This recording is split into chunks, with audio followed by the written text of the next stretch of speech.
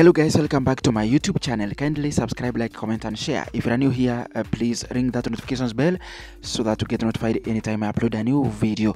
Welcome to number one entertainment channel your number one motion or udaku channel and i'm here to keep you updated on what is trending. So guys let us talk about the capsulet member of parliament oscar sudi.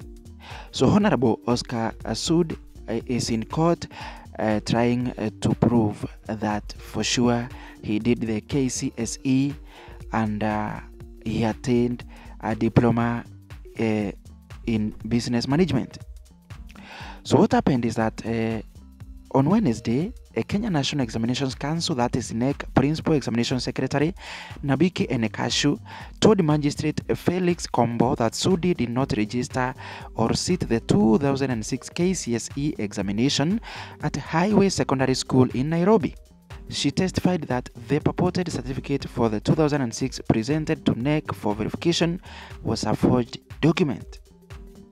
They said that they also established that a candidate by the name Oscar Sudi did not appear in the year 2006 NEC database for either Highway or Parklands Secondary School. Sudi has also been charged with forging a diploma certificate in business management purporting it to be a genuine document issued by the Kenya Institute of Management.